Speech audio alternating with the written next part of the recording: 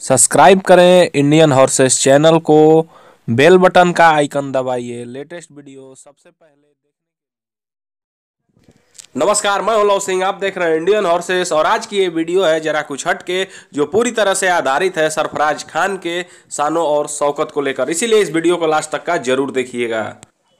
और ये वो चेहरे हैं जो किसी भी पहचान के अब मोहताज नहीं है। दोनों भाई सरफराज खान और सुल्तान खान। नाम भी वैसे ही हैं, जैसे इनका रुतबा है। और अभी आपके सामने जो ये घोड़ा अभी वार्म अप शुरू किया है अपना, ये घोड़ा है गर्रा जिससे आप अच्छी तरह से वाकिफ होंगे और ये किसी सुपर फास्ट एक्सप्रेस से कम नहीं है। इसकी चाल लगभग 45 किलोमीटर तक नापी गई है। उसकी भी एक झलक आपको आगे आने वाली वीडियो में दिखाएँगे और इस पर सवारी कर रहे हैं शरीफ।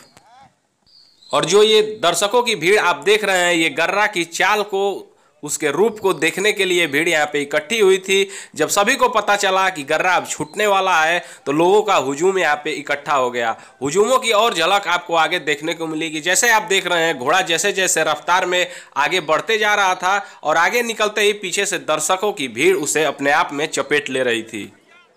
उधर से अब सवार शरीफ अपने पूरे रंग में गर्रा को लेकर आने वाले हैं और देख रहे हैं दर्शकों की भीड़ उसे चपेट ले रही है। एक आवाज़ सुनिए।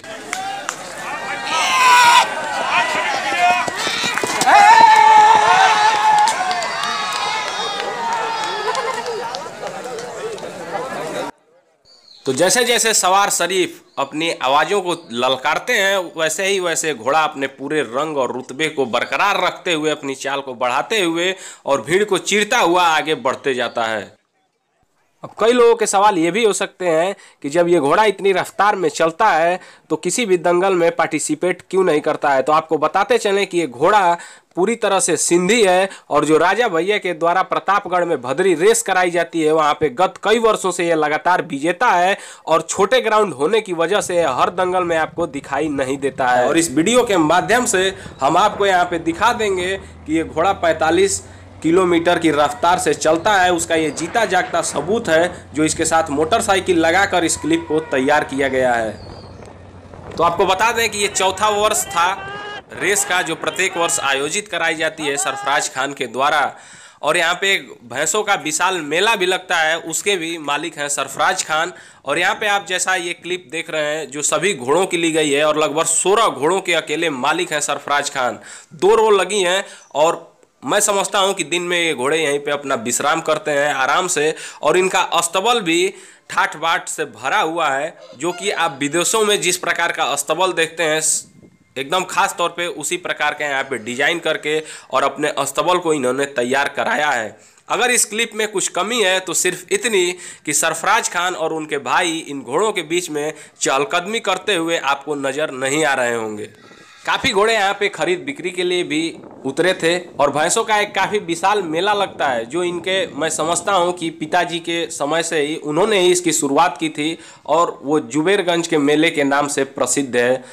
तो जैसा कि आप अभी देख रहे हैं, कई और भी जानवरों के ये शौकीन है। ऐसा नहीं है कि सिर्फ़ घोड़े ही हैं, जैसा कि एक आप तस्वीरों को देख रहे हैं कि कैसे भीड़ लगी है इनके घोड़ों को देखने के लिए, और अन्य जो क्लिप नीचे से दिख रही है, ये पूरे उनके घर की एक छोटी सी क्लिप है जो वहाँ पे भीड़ इकट्ठी हुई थी 30 तारीख के रेस को देखने के लिए। बंदर भी यहाँ पे दो पाले गए हैं। एक बारह सिंगा भी है, जो लास्ट में आपको क्लिप में दिखेगा। मुर्गे हैं, बकरियाँ हैं, जो एक से एक नस्ल की यहाँ पे पाली गई हैं। मेरे पास समय कम था और उस दिन भीड़ इतनी ज़्यादा थी कि सरफराज खान भी टाइम नहीं दे पाए। तो मैं आपको विश्वास दिलाता हूँ कि अगली टाइम जब भी मैं वहाँ पे जाऊँगा उनके यहाँ तो एक अच्छी सी क्लिप और एक फुल डॉक्यूमेंट्री पूरी तरह से उनके इंटरव्यू के साथ मैं तैयार करने की कोशिश करूँगा। और ये वो रेवटी है जहाँ पे सरफराज खान बैठते हैं और यहाँ पे चहल पहल हमेशा होती रहती है। जब भी सरफराज खान की गेट से एंट्री होती है तो ये तुरंत रेवटी खाली कर दी जाती है उनके बैठने के लिए। और इसी वर्ष 30 अप्रैल को सरफराज खान ने ये अनाउंस भी कर दिया कि अगले वर्ष से दो रेसें कराई जाएँगी, जो सीधे चक्करों की होगी और एक गोल चक्कर की। और प्राइस भी सारे डबल कर दिए जाएँगे। तो ये एक छोटी सी क्लिप है उनके बारह सिंगा की, जो काफ़ी प्यारा जानवर है। तो मैंने सोचा कि इसकी भी एक क्लिप ले लूँ राइडर पोंगा यादव के साथ। अब इस क्लिप में एक और सरफराज खान के घोड़े को आप देख रहे हैं, जिसकी ट्रेनिंग चल रही है और सवार है बीरेंद्र सिंह। वैसे तो अपने चार वर्षों की जो रेस अभी तक इन्होंने कराई है, कभी भी अपने घोड़े को अपने दंगल में नहीं उतारा।